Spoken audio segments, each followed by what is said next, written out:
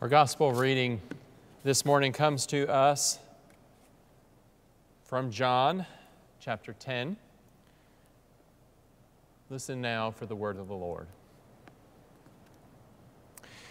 Very truly, I tell you, anyone who does not enter the sheepfold by the gate, but climbs in by another way, is a thief and abandoned.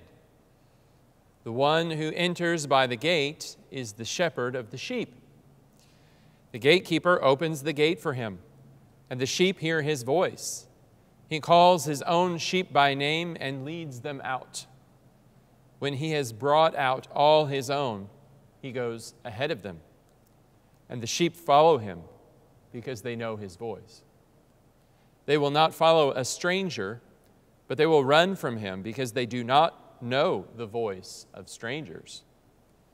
Jesus used this figure of speech with them, but they did not understand what he was saying to them.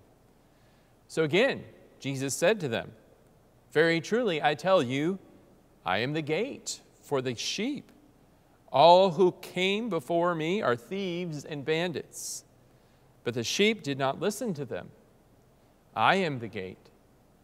Whoever enters by me will be saved, and will come in and go out and find pasture. The thief comes only to steal and kill and destroy. I came that they may have life and have it abundantly. This is the word of the Lord. Thanks be to God.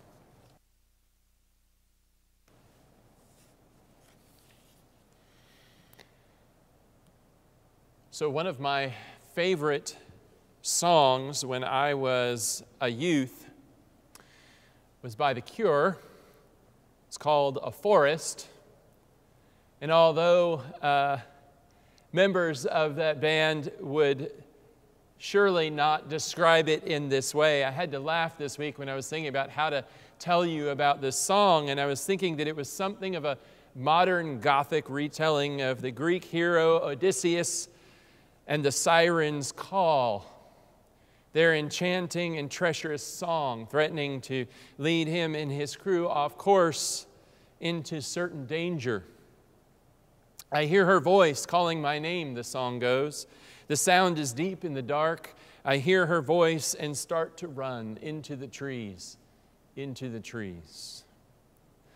But suddenly I stop, but I know it's too late. I'm lost in a forest all alone. The girl was never there, it's always the same. I'm running towards nothing again and again and again and again. In its despairing way, this song speaks to us in the fact that there are all kinds of voices out there. And Jesus warns us some of those voices would lead us in helpful ways, and some of those voices would lead us to harm, intentionally or not. Very truly, I tell you, he says, anyone who does not enter the sheepfold by the gate but climbs in by another way is a thief and a bandit. The one who enters by the gate is the shepherd of the sheep. The sheep hear his voice. He calls his own sheep by name and leads them out. He goes ahead of them, and the sheep follow him because they know his voice. See, there are good voices to follow, and there are harmful voices. And Jesus leads us to safety, but how can we know his voice? These days, there is so much concern, so much anxiety and so much confusion. How do we know which voice is helpful and which voice is harmful? You know, when this pandemic first set in upon us, I marveled with uh, several of my friends over how quickly people um, settled into it, how quickly people seem to pay attention for the most part. and practice the things that we need to do to take care of ourselves and each other. All, uh, it seemed to me, with something of a spirit of cooperation, a feeling that we were in this together, looking after each other, taking precautions for each other. And in time, I wonder if we are losing some of that spirit. It's human nature, I know, that over time people will get impatient. Different leaders will tell us different things about the best course of action forward, and why we've even seen some of our people uh, even protesting the very measures that have been taken to protect them. There's talk of reopening things as things do reopen. How do we know what's safe, what's wise for us and others, and what's best? And I'm not saying there's one right way uh, now either, and that uh, all the other uh, voices are wrong. But, you know, many of our folks are quite isolated and lonely these days. Many of our own congregants are. And I wonder, I think about the voices that they are hearing. When we don't hear many voices in our lives, the ones that we do take greater, uh, have a, a greater effect on us. And when the few voices we hear are anxious or scared or sharing misinformation, I think about them a lot. There are many voices out there. So, how do we know which voices are helpful for us? How do we find together the best course to follow? And you know, for the church, it's not going to be easy. It hasn't been easy adjusting to uh, worshiping without people in the pews and sending it out to you each week um, as we determine a path to move forward, as we're able to slowly start gathering again, how do we do that? How do we decide when it's okay to do that? It's going to probably be slow in returning to more normal activities for the church, and we'll be prayerfully considering what is best and wise. Please do bear with us as we adjust, and we won't necessarily know week to week but we will do our best to keep you informed. And I don't know about you, but I have a bit of, of what I've been calling adjustment fatigue. Everything just seems to take longer and take much more effort than it used to, doesn't it? But I digress. How do we know in the midst of so many voices around us which of those voices are helpful for us? And how can we find and hear the voice that is most helpful the Good Shepherd, our Lord Jesus Christ. If we hear and know Jesus' voice, he says, then we are his sheep. My sheep know my voice.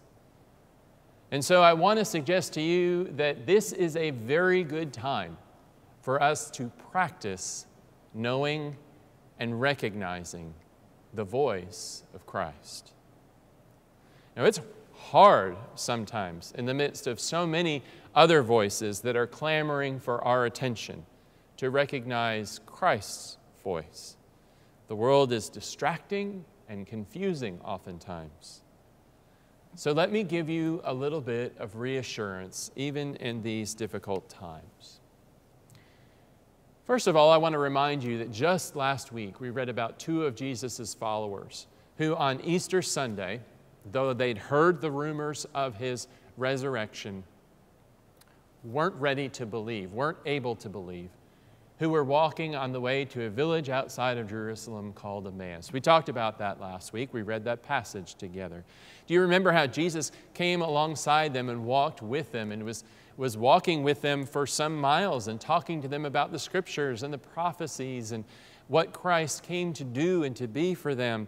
And how at the end of it all, they came to realize that it was Jesus walking with them. And they asked each other, Weren't our hearts on fire while he talked with us? You see, when Jesus is in our midst, when Jesus is talking to us, there will be something happening within us. Our spirits will call out our yearning to hear from Christ. And so when the voice of Jesus is speaking to us, there will be something within us yearning to hear and know what it says. That's one way that you can know that Christ is telling you something in the midst of your situation. And we have to stop and listen and pray about it, and sometimes even check with a brother or sister in Christ to confirm that we are hearing correctly. But when that is going on within you, that there's a yearning and a burning to hear what is going on, to hear Christ speak, and Christ probably is speaking to you. Second, I want you to notice something interesting that happens in our passage. Jesus begins our passage in John talking about how he is the good shepherd. But notice at a certain point, he starts talking about himself as the gate. I always wondered about that. Why does Jesus change the metaphor? Why does he change the image that he's referring to about himself? Well, when we look carefully at the passage in John, we realize that Jesus changes his language because the people weren't understanding. They were listening, and they were hearing, but they weren't able to understand what he was telling them. So he tried again. Do you see that? That Jesus will continue to speak to us and we'll keep trying until he reaches us, until we can understand, until we're able to follow. Jesus will keep calling out for you to listen. So let us do that. Let us listen now for the wisdom, the shalom, the peace that comes upon us when we hear the voice of the Good Shepherd, of the gate to an abundant and eternal life. For that is our Lord. And that is where his voice will take us. So listen and keep listening because Christ won't give up trying to reach you. And practice listening, friends, because it is those who know Christ's voice from all the others who belong to Him. Amen.